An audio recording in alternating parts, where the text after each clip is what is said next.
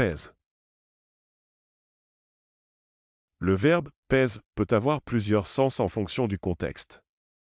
Voici quelques exemples pour te donner une idée. Pèse, valeur, déterminer le poids de quelque chose ou d'une personne à l'aide d'une balance ou d'un pèse-personne. Exemple, j'ai pesé mes bagages pour m'assurer qu'ils ne dépassent pas le poids autorisé.